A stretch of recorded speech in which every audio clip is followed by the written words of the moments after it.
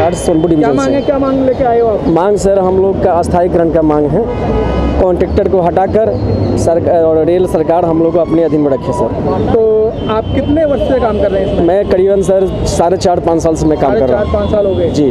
तो क्या काम है आपका मेरा मेरा गेट पर सर काम है कि कोई भी यात्री आए अगर रेल आ रहा है तो उसको सीटी की आवाज़ से, हॉर्न से। ऐसा कोई सूचना नहीं, मैंने कि टेलीफोन है कुछ नहीं लगा हुआ है, लेकिन सीटी की आवाज़ से मैं वहाँ पे धूप में खड़ा रहकर मैं उनको इशारा करता हूँ, भैया, रुक जा, ट्रेन आ रही है। तो जाइएगा। बहुत आदमी जिससे बज में मैं रोकता भी हूँ मेरा बात भी नहीं माना। मेरे साथ एक हादसा हुआ था एक आदमी को मैं कहा भैया रुक जाइए गाड़ी आ रहा उधर तिरुत एक्सप्रेस आ रहा था वो रुका नहीं और सीधे बस इस पार से उस पार चला गया।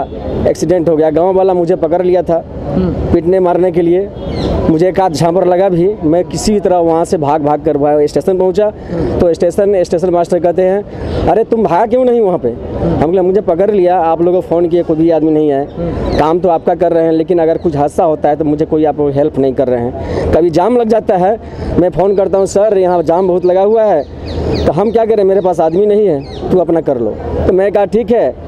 ये आपको रिकॉर्ड कर लिया हूँ। अगर आदमी अगर नहीं भेज रहे हैं अगर एक्सीडेंट होता है तो ये मैं ये रिकॉर्ड मैं वहाँ सुनाऊँगा। क्या बात मतलब क्या कहते हैं? डी एन थ्री साहब को जैसे इस तरह से हटना है। सर हम लोग बड़ी कठिनाई से बहुत कष्ट से यहाँ ड्यूटी कर रहे हैं सर लेकिन सरकार यहाँ पाँचवा बार छठा बार आए हैं। मैं इस गेट मित्र एसोसिएशन के लिए हम लोग बहुत मेहनत करके यहाँ एकत्रित हुए थे जो हम लोग को न्याय मिल जाए। सौ सौ दो दो सौ पचास पचास रुपये चंदे लेके हम लोग आते हैं जो हम लोग को न्याय मिले। लेकिन ये सरकार हम लोग को न्याय नहीं दे रही है।